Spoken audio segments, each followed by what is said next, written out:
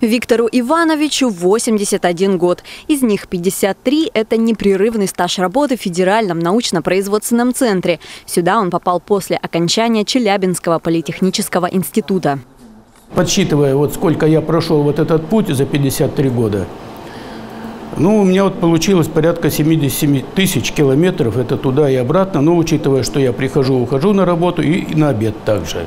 Идешь на работу, у меня, наверное, не было такого дня, чтобы я шел э, не с желанием. Ну, трудности, конечно, они вот э, есть, знаешь, что этот день будет трудный. Ну и когда вопросы решены, возвращаешься домой уже довольный, настроение хорошее. Здесь, э, если все хорошо, значит дома нормально. Предприятие, на котором трудится Виктор Степанов, выпускает изделия специального назначения, функциональность которых необходимо подтверждать. Продукция проходит через руки инженера. Благодаря разработке Бичанина характеристики удается получать с помощью датчиков. Прежде чем изделие допустить к производству, мы вот теоретически делаем определенные расчеты.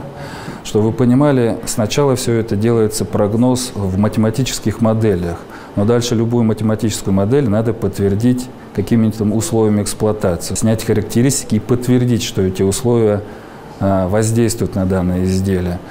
Разработки Виктора Ивановича по достоинству оценили на предприятии и выдвинули его кандидатуру на Всероссийский конкурс «Инженер года-2018». В результате он получил звание лауреата в номинации «Техника военного и специального назначения». Награда прибыла из Москвы, и сегодня она нашла своего героя. В отрасли у нас принято носить такие значки.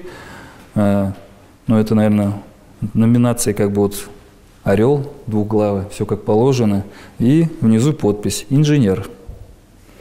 Виктор Иванович.